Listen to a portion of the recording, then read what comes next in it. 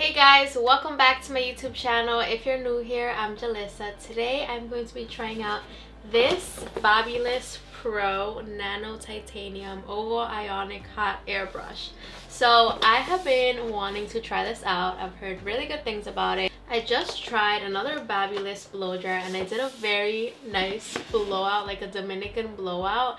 And let me just say, I was so impressed with that blow dryer. I don't know if I'm going to post that video after this one or right before this one, but it's coming, so stay tuned. I hope you guys are liking Vlogmas so far. It is almost over, which is so sad. I only have like like four videos left, so yeah please subscribe if you're liking vlogmas so far but let's open this up. Let's get right into it. I believe this retails for about 150 dollars. And it kind of looks like the revlon one step hair dryer and volumizer.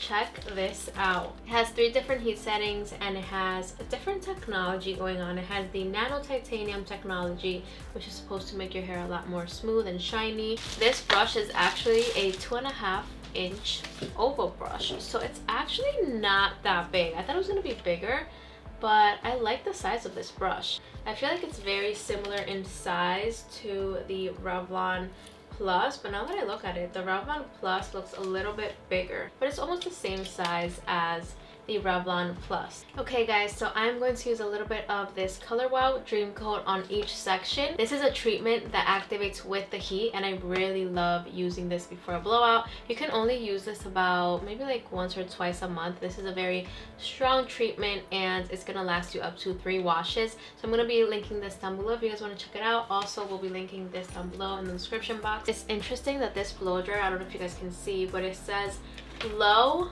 high and then cool I would have preferred maybe cool, low, and then high just because I'm so used to just using the highest heat setting, just putting this all the way up with every hair tool that I use. So it's to be a little bit tricky for me to just very carefully put it in the middle and not just all the way up, if that makes sense. But yeah, let's try this out. I'm to apply a little bit of the Dream Coat about that much. This is also going to help with frizz and it's going to protect your hair from the heat up to 450 degrees Fahrenheit. So I'm gonna turn this on.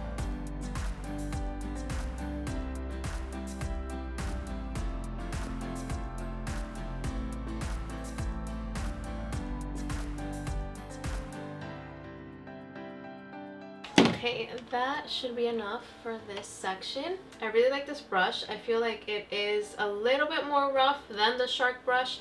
This one reminds me a lot of the Revlon the original, but I do feel like this one doesn't get as hot as the Revlon the original. I'm going to do all my hair and I'll be back with the final look and then I'll give you guys my thoughts.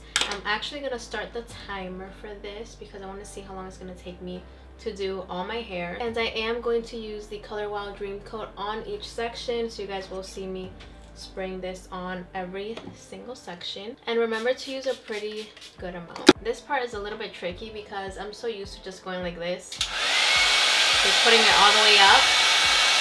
But it has to be in the middle in the high heat setting. So it's not a big deal but it's just something that i kind of would prefer if the high heat setting was all the way at the top.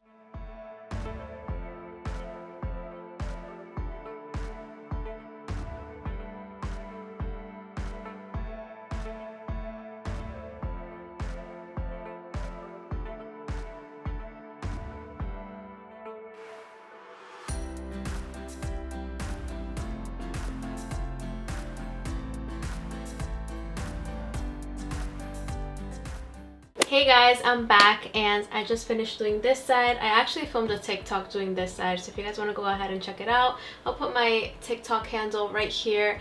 Um, follow me on TikTok. I post a lot of stuff on there that I do not post on here on YouTube. So yeah, go ahead and check out my TikTok. But anyways, this is the final look.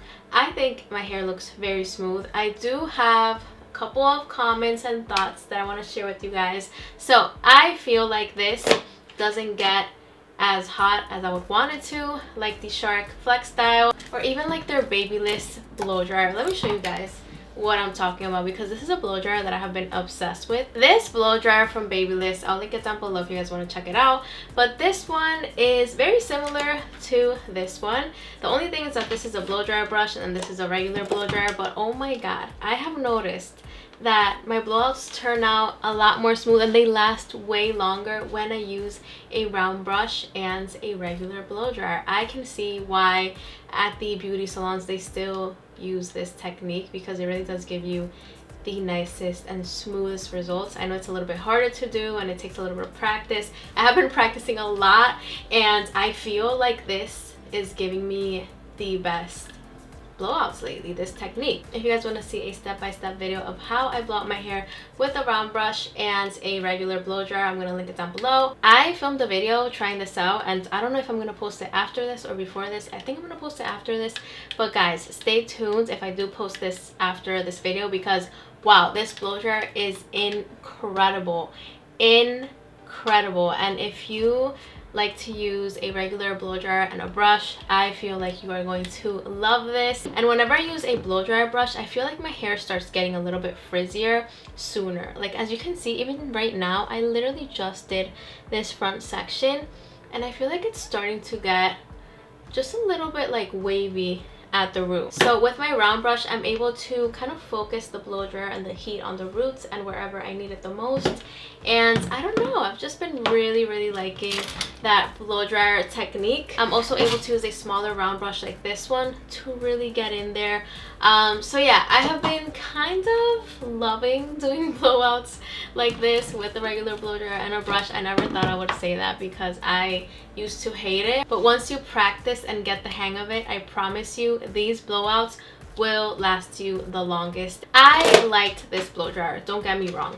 It's just that I don't see myself using it that much because I kind of rather use this one or the Shark. It is a good blow dryer, but I feel like I had to do a couple of passes to get the smoothest look and I feel like it does look pretty smooth. I don't have a ton of waves or anything going on, but it took me almost 50 minutes to do my hair and to me that is a long time with a blow dryer brush. I can see how maybe using a round brush and this blow dryer could take me the same amount of time or even more to do on my hair but I'm gonna get nicer results. And my blowout is going to most likely last longer and I won't start to get waves you know coming through at the roots. Like do you see how at the root it's just starting to get a little tiny bit wavy? I just want to try something quick because i feel like i can get this front section way smoother. So i'm going to use this and a round brush and let's see what i'm able to do. Okay so this blow dryer gets very very hot but it gave me so much shine at the front and I feel like my roots got a little bit more smooth than before. if you do this from the start on damp hair you are going to get better results than doing it on dry hair I really love what that did to the front of my hair. So yeah guys watch this video where I try out and I do a whole blowout with this blow dryer. It is insane and I really really love it. It's only like 150. This definitely gets very hot but I feel like if you use a heat protectant and if you don't use a straightener afterwards or extra heat you should be fine. Um, I'm going to keep using this and I'm going to try and perfect my blowouts at home because I really want to be able to do salon looking blowouts at the comfort of my home. So yeah, stay tuned. Overall, I think this is good if you're starting to do your own hair and if you have more like wavy hair. This one is very similar to the T3 Micro Airbrush Duo. I feel like it gets just as hot, but the brush on this one I like a little bit better. It's a little bit more rough so if you have very fine hair you might not like it. But overall this hair tool is not bad at all. I feel like i am not going to use it that much though.